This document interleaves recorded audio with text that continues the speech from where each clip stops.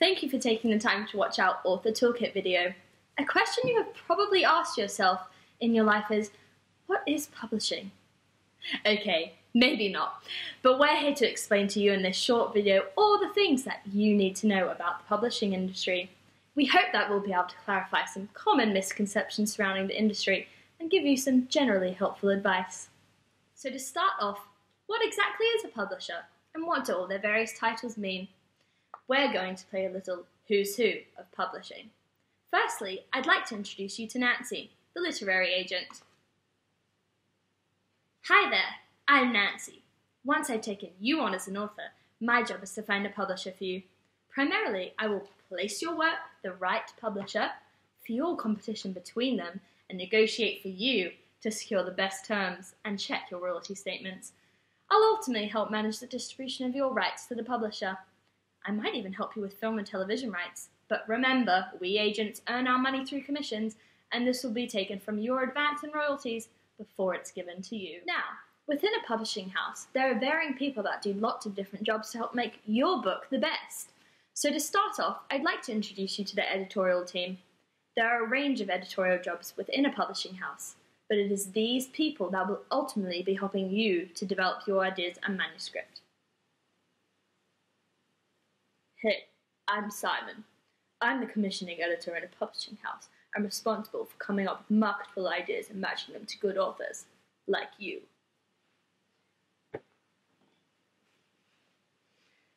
Hi, I'm Sally, the structural editor.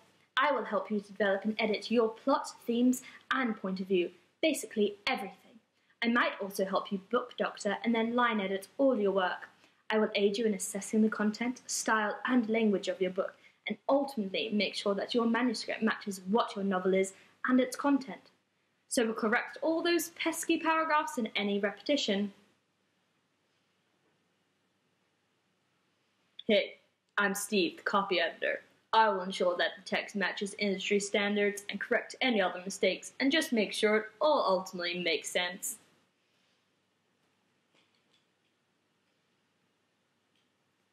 Finally, I'm Sandra, the proofreader, and I received the book last to make extra sure the book is perfect. Now that the actual written side of your book is underway, the design team will be producing the best cover and physical book possible for your story. Please meet Adam.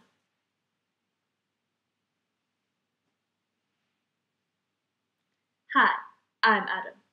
I'll be given a clear brief by the editor at the outset and so will know exactly what your book is about. A warning you might not actually get to meet me yourself, and you won't have the last say on your cover, but don't worry, I know exactly what cover will sell your book. Now let's meet the marketing and PR colleagues. Please meet Lucy, the head of the marketing team. Hi, I'm Lucy. I will make sure that your book is promoted in the best way possible. I understand what the market wants and needs, and I know how to promote to your relevant audiences.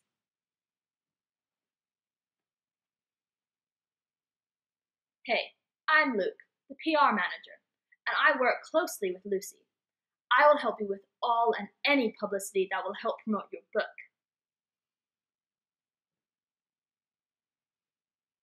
And hi, I'm Linda, and I'm part of the Consumer Insight team. This is a department at most major publishers these days, and I will be able to provide the marketing and PR teams with lots of information and knowledge about the kinds of consumers likely to buy your books. This, in turn, will help to sell your book. Next, please meet Nigel and Rachel. Hi, I'm Nigel, head of the sales department. My team will be convincing all the relevant retailers to stock your books. This can include independent bookshops, bigger bookshops like Waterstones, supermarkets like Tesco and Asda, and online retailers like Amazon. And I'm Rachel, head of the rights team. If you sold rights to the publisher like foreign rights, translation rights, or even TV film rights, I'm in charge of selling them on for you. And now, finally, two important faces that generally work outside of the publishing house. Hi, I'm Zach from the printing company. Most publishers don't own their own, so I'll print your book for the publisher. And I'm Alice, the bookseller. I am the final face at the shops, and I'll be doing all I can to help sell your book and many others. Phew, a lot of faces to remember. But now you have a better idea of just who is helping you with your book and what they all do. As you can see, there are a lot of people working on your book making sure it grows into the best it can be. Now, you're probably still wondering what exactly is in my contract and what specifically is a contract in publishing. Here are four important things to know about what makes up a contract. There is an offer within the contract, followed by acceptance, then some time for consideration, and finally, this is confirmed with intention to enter into legal relations. So, whilst every contract will be different, within a publishing contract there are some important areas to identify. A few key points you might expect from a typical contract are that a publisher must be very specific about which rights they want to license from you. For instance, whether they are just domestic rights or if they include world rights also. The publisher must be aware of the author's moral rights, including paternity rights. An author must vow that their work is their own, and the author must confirm that they have permission to pass on any confidential details the book may include. There should be a clear schedule of when the book is due, and that the author must keep the publisher informed on their progress. The contract must set out the anticipated timetable for publication. There will be a confirmation that copyright remains with the estate for 70 years. The author must accept that the publisher will have the final say on all marketing, promotion, and cover design. However, the author may request that they be consulted about design choices. This clause may also include the author's agreement to present at promotional events, acceptance that the publisher is bound to protect the author's copyright, and finally, there will be an outline of exactly what the author's royalties and advance will be and when they will be paid. And now you may ask, what exactly is the royalty breakdown? An author usually receives an advance on royalties once the contract is signed, and after your royalties have been earned back in this advance, you will receive regular payments. The contract will outline exactly how much this will be, but usually it is 10% of the publisher's net sales revenue, whilst the bookseller receives 60% and the publisher 30%. It is also important to note that an author will receive royalties from the price the bookseller pays, not the RRP. Now, you still might have a few questions about what exactly are moral rights and what is copyright. So, what are moral rights? Moral rights are granted to an author automatically. The Society of Authors identified the three main moral rights conferred by the Copyright Act in 1988. The right of paternity, which is the right of an author to be identified whenever a work is published, performed, or broadcast. In other words, authors, scriptwriters, illustrators, and translators must be properly credited. The right of integrity is the right of an author to object to a derogatory treatment of a work. The right of false attribution. This is the right not to have a work falsely attributed to you as an author. Copyright is a form of intellectual property right. We are now going to play a game of fact or fiction. Work must be registered to be protected by copyright. Fiction. Copyright is actually automatic. Copyright protects ideas. Fiction. Copyright does not protect ideas or mere facts, but copyright does protect the way in which ideas are expressed. Copyright covers any original work. Fact. In most cases, originality is the only condition that a work must meet to be protected by copyright.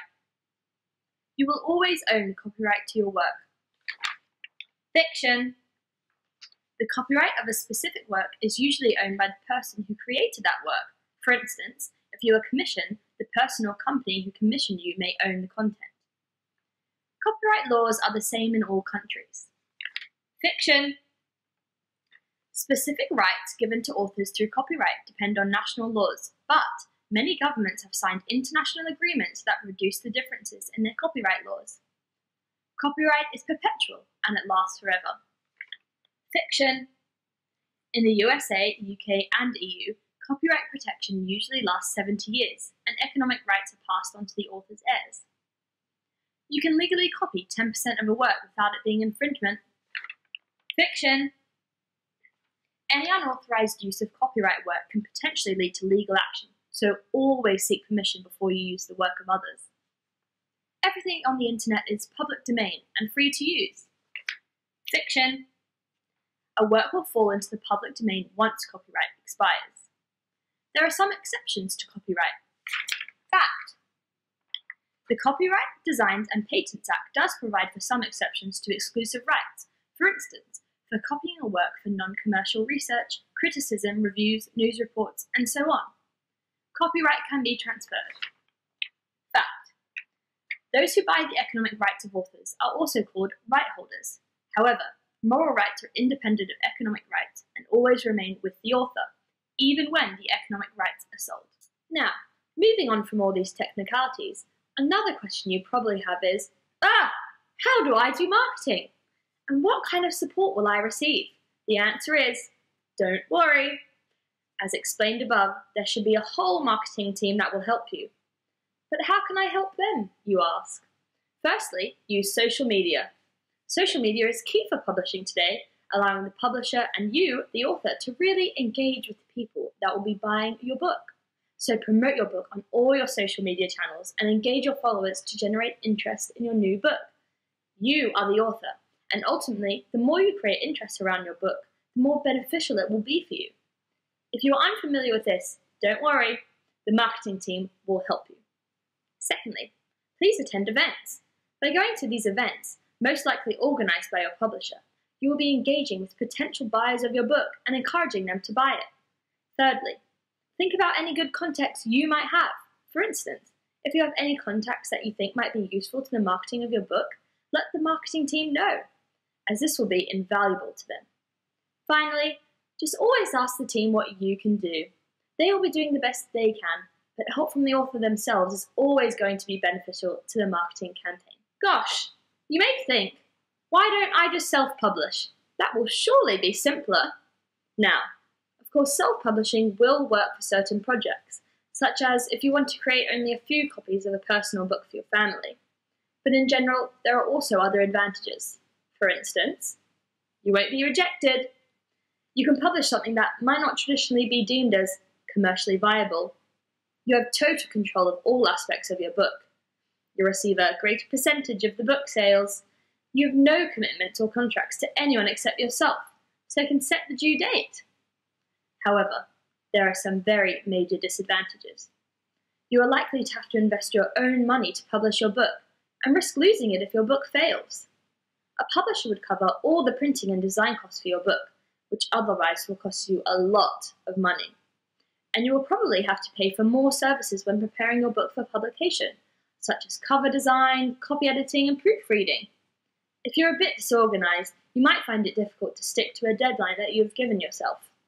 You may struggle to have the contacts or expertise to market the book effectively. Without the sales team, you are likely to find it a big challenge to get your book into retailers. They are notoriously difficult to deal with. A publishing house will give you a certain amount of backing, prestige, and authority behind your book, which many readers notice. Finally, publishing takes quite a lot of time. As you can see, generally has a whole army behind one book. You, as a sole author, may struggle to find the time and energy for all of this. And you may also want to focus on writing other books and achieving personal projects. Thank you for taking the time to watch this short video. I hope that all previous queries have been answered and that the mysteries of the publishing industry have been revealed to you. Please contact us if you have any further questions. Goodbye for now.